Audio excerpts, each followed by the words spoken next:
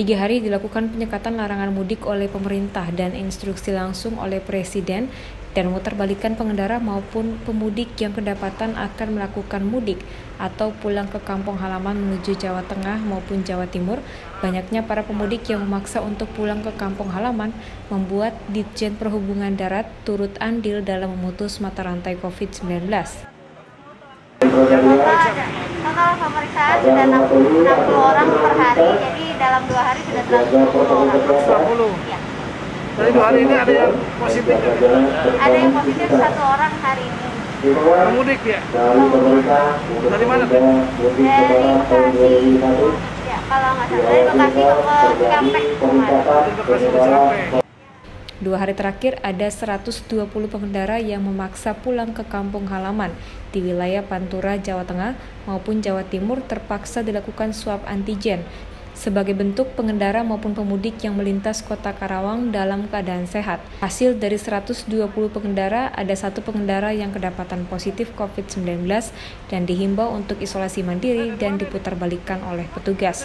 Sementara itu, yang melakukan swab antigen dengan hasil negatif akan diperbolehkan untuk melanjutkan perjalanan. Saya dari mana ini? Apa? dari mana? Bekasi. Mau ke mana sih? Kerawang. Oh, Kerawang. Terus tadi disuruh apa tuh?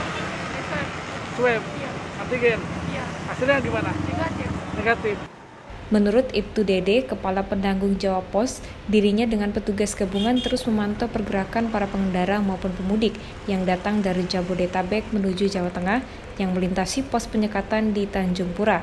Menurutnya, arus lalu lintas pengendara terpantau masih normal dan diperkirakan peningkatan volume kendaraan akan meningkat menjelang malam hari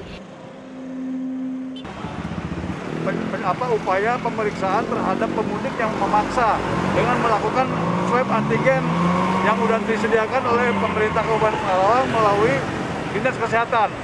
Nah, didapat dari hal tersebut uh, hasilnya ada salah satu pemudik yang dinyatakan positif dan kita paksakan untuk diisolasi mandiri dan diputar balik.